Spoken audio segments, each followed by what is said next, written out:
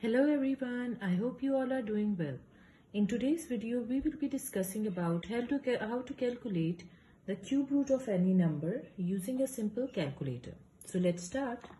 Let's suppose I have a number 125 and I want to find out the cube root of this number. So my first step will be, I'll be pressing the cube, uh, the under root sign two times. Then I will press the multiplication sign. After this, I will be pressing the under root sign two times. Then I will press the multiplication sign. After this, I will press the under root sign four times. Then I will again press the multiplication sign. After this, I will press the cube root under root sign 8 times.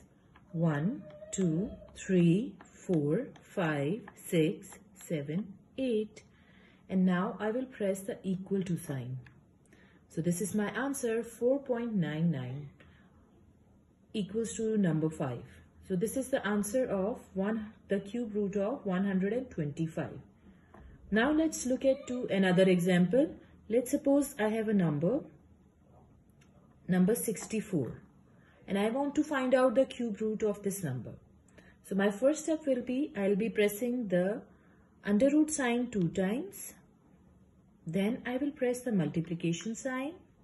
After this, I will press the under root sign two times.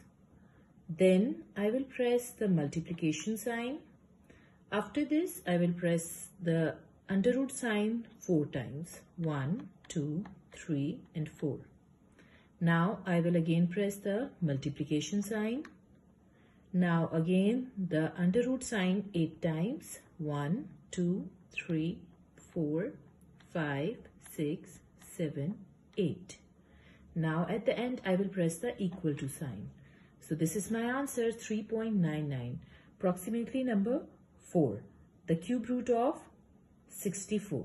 So this is how we can calculate the cube root of any number. I hope you like this video. Please subscribe to my channel. Thank you.